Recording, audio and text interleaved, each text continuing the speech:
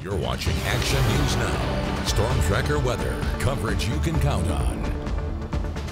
You're looking live over Plumas County. Look at those clouds there. It's pretty impressive looking, but we're also seeing a possible chance of some mountain showers in some areas. Let's check in now with Chief Meteorologist Jason Stiff. Yeah, you can see some towering cumulus clouds there in the foreground, some cumulonimbus, some thunderstorm clouds in the background also. So a very active afternoon for the mountains. Quieter in the valley, but it's not going to stay that way. Now, our temperatures were just about perfect as far as the averages are concerned on this 24th day of May. We had a low this morning of 58 degrees in Redding. It was 59 degrees in Chico and 60 degrees in Corning. The highs so comfortable for the last week or so of May, right we're supposed to be in Redding with that high of 85. Chico, how about 77 degrees? We'll take that with a lot of sunshine as well. Temperatures in the lower 60s though in Chester, where we've had more showers and thunderstorms and a warm 84 both in Weaverville and in Red Bluff. So you can see the active weather certainly over the higher terrain today, much quieter for the valley, certainly compared to yesterday around Shasta County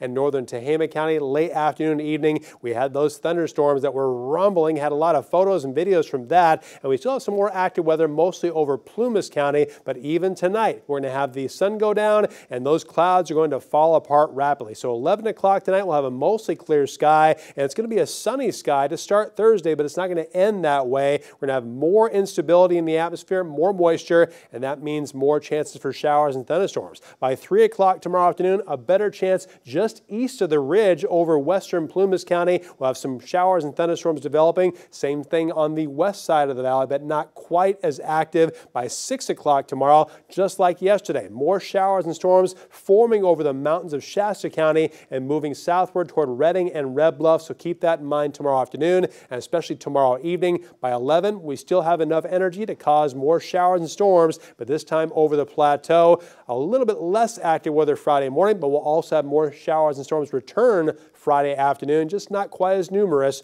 or as widespread. And we're going to have this same trough of low pressure stuck over northern California and southern Oregon, providing more of that instability and just enough moisture to cause daily chances for showers and storms. As I mentioned yesterday, it won't rain or hail or thunderstorm anywhere all day and any of the next seven days, but most of the days we're going to have a chance for showers and storms over the mountains, and a few days we'll have a chance of seeing them in the valley too. So if you're going to be doing anything outdoors for the upcoming Memorial Day weekend, keep an eye to the sky. The mountains will certainly have a better chance for additional rain showers and thunderstorms. So for right now, I want to show you the short-term precipitation chances, and you'll notice by tomorrow afternoon, Redding has a chance for up upward four tenths of an inch of rain, also about a third of inch around Mineral, more over the mountains. Not much south of Red Bluff, though, but that's just the initial part.